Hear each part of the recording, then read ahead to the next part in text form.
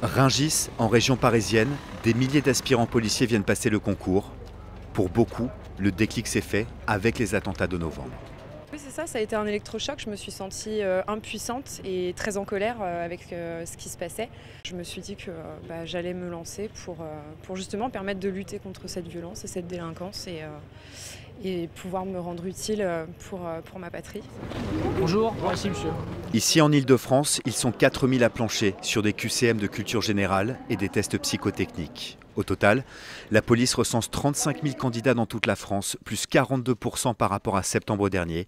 Un record, c'est l'effet Bataclan. On ne se sent pas en sécurité que ça, on a envie d'aider, on a envie euh, d'aller sur le terrain. Après les attentats, on peut se sentir euh, impuissant et euh, être encore plus motivé.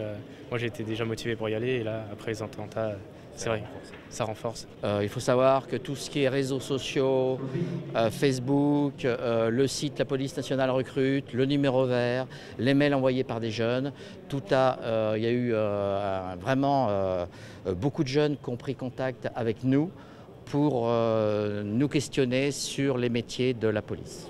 Mais toutes ces vocations ne seront pas concrétisées. Sur les plus de 35 000 candidats, seuls 2800 seront admis.